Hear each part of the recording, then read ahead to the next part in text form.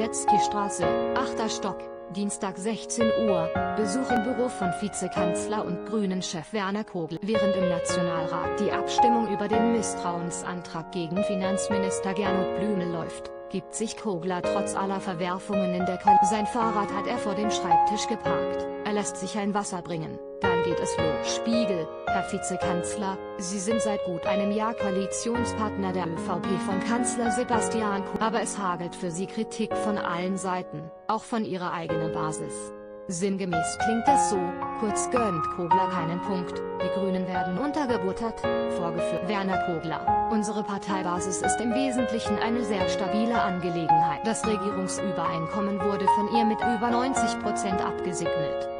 Die Kritik an uns hat auch damit zu tun, dass die großen Dinge, die gelingen, weniger im Fokus fehlt oft der Blick aufs Gesamtergebnis.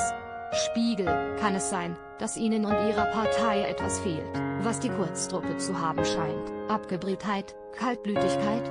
Weiterlesen mit Spiegel Plus mehr Perspektiven, mehr Versteh Ihre Vorteile mit Spiegel Plus Icon, check der Spiegel als Magazin als App, Ihr Paper und auf dem E-Reader Icon. Check alle Artikel auf Spiegel exklusive Texte für Spiegel Plus Leser Icon. Check einen Monat kostenlos testen jederzeit online kündbar ein Preis nur 19,99 Euro pro Monat jetzt für 0 Cent ausprobieren jetzt kaufen Pfeil nach rechts Sie haben bereits ein Digitalabonnement?